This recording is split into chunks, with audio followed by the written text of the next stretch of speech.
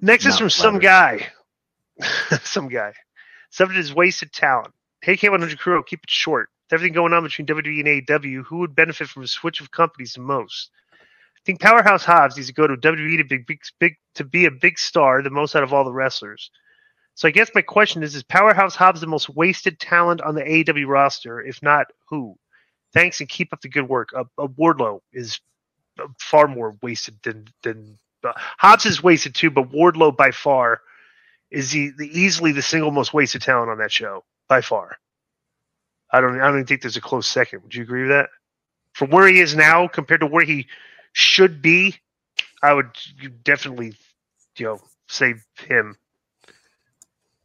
What about you, Konnan? I don't know. I'm trying to think right off the top of my head. There's quite a few. I think they haven't done Taya. Uh, I mean, she uh, had she had been on for uh, how long has she?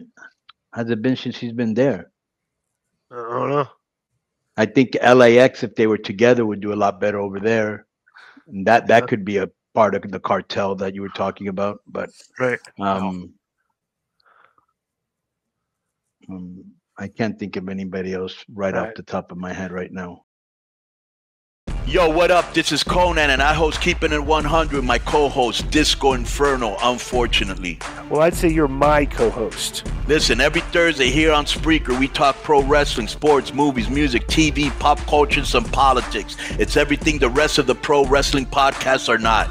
Tune in to hear myself, the superior one, educate and inform. Tune in to hear me bury Disco. That's very disrespectful. Join us every Thursday on Spreaker and keep it 100. Boom.